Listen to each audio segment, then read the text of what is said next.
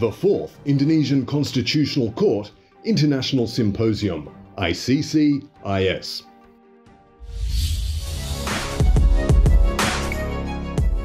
Following the success of our previous international symposia in Surakarta in 2017, Yogyakarta in 2018, and Bali in 2019, the Constitutional Court of the Republic of Indonesia will hold the fourth Indonesian Constitutional Court International Symposium.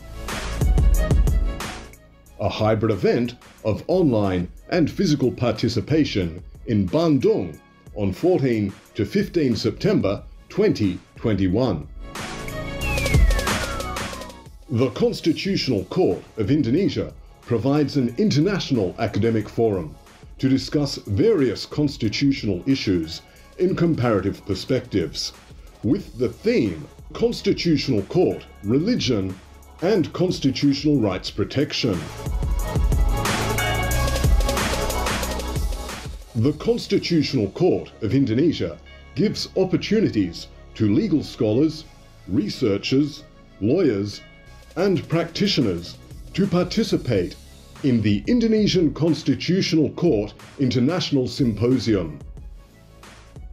All participants must submit abstracts that meet the theme of the symposium.